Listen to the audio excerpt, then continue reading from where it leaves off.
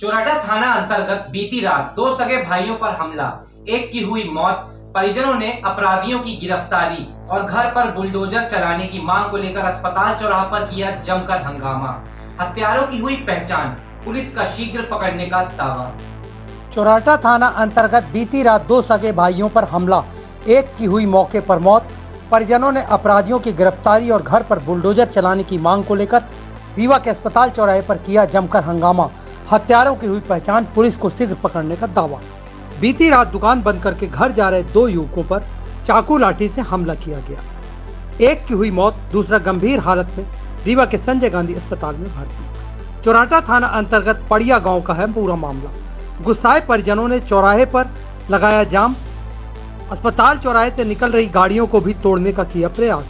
Police और प्रशासन की समझाइश के बाद मामला हुआ शांत रोज की तरह अनिकेश यादव और उर्रेन यादव शारदापुरम स्थित रीवा में अपनी दुकान को बंद करके अपने गाँव जा रहे थे।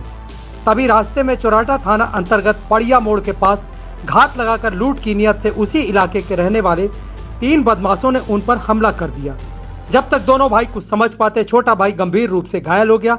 बड़ा भाई वहाँ से भागा और उसने घर फ़ोन लगाकर इस बात की जानकारी दी। थोड़ी ही देर में गाँव वाले मौके पर पहुँच गए।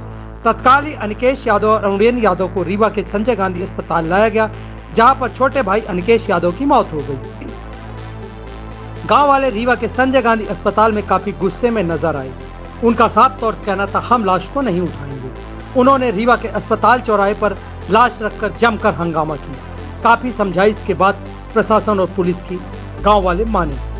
अब प्रदेश के मुख्यमंत्री से उन्होंने मांग की प्रदेश के मुखिया शिवराज सिंह चौहान मामा का बुलडोजर कहाँ गया?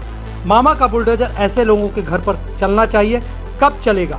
हालाँकि समझाइश के बाद गाँव वाले पोस्टमार्टम कराकर शव को लेकर अपने गाँव की ओर रवाना हो गए हैं। रीवा में बीते 48 घंटे के अंदर हत्या के दो मामले सामने आए। एक मामला बिछिया थाना अंतर्गत, जिसमें एक वृद्ध की घर पर ही हत्या कर दी गई। वहीं दूसरी, जिसके बारे में हम बात कर रहे हैं। हमने कुछ लोगों से बात की, साथ ही चौराटा टीआई से भी हमने बात की। उनका साफ़ तौर से कहना था, हत्या करने वालों की पहचान हो गई है, हम जल्द ही उनको पकड़ लेंगे। हत्यारे तीन थे, उन्होंने दोनों भाइयों को रोका, लूट की नियत से लाठी डंडे से हमला किया, एक भाई, छोटे भाई को गंभीर चोटें आई, जैसे उसकी घटना स्थल पर ही मौत हो गई। सुनिए, हमने जिन लोगों से बात की, उनका क्या कुछ कहना था? भाई को हमारे कल से चाकू मार के वहाँ लेटा दिए कोई उसकी सुनवाई नहीं हो रही। कल से कुछ बेटा ये कल से हॉस्पिटल में लेटे हुए हैं। कोई सुनने वाला नहीं है। पुलिस प्रशासन! क्या मांगे आप लोगों की? हमारी माँ बोलेंगे ना बुलडोजर चलना चाहिए जिस तरह अपराधी के घर में बुलडोजर चलना- चाहिए। जिस तरह मेरे भाई की जान हत्या हुई है उसी तरह उसकी भी जान हत्या उसके घर में बुलडोजर चलना चाहिए। अभी तक सामने वाले को हमको फांसी चाहिए गुनाह दो लोगों को पुलिस पकड़ी है दो लोगों को पकड़ लिया कोई एफ़ आई आर नहीं हुई अभी दो आरोपी पकड़े गए हैं। है। तीन बार बोले बॉडी चली गई है अभी तक कोई ऑपरेशन नहीं हुआ। बॉडी के कोई नहीं हुआ। एक दुर्घटना घटित हुई थी उसमें नितेश यादव की 20 वर्ष की उम्र बालक की लूट की हुई है, उसके साथ घटना हुई है। उसी के दौरान मारपीट के दौरान बालक के साथ हुई थी। बालक को संजय गांधी हॉस्पिटल लाया गया था, जहाँ डॉक्टरों ने इलाज के दौरान उसे मृत घोषित कर दिया था।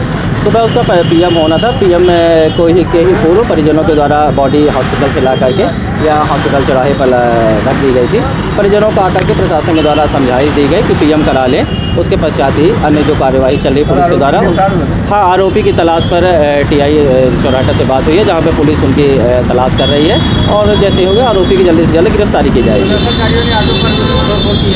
हाँ एक ऑटो को यहाँ पर क्षतिग्रस्त हालत में देखा गया है। ऑटो को भी किनारे रख लिया गया है। ऑटो चालक द्वारा जैसे भी जानकारी दी जाएगी वैसे भी कार्यवाही आगे प्रस्तावित की जाएगी। परिजनों ने यहाँ लाकर के बॉडी हॉस्पिटल चौराहे पर रख दिया गया था। वो पीएम में हुई देरी को लेकर के नाराज़ थे।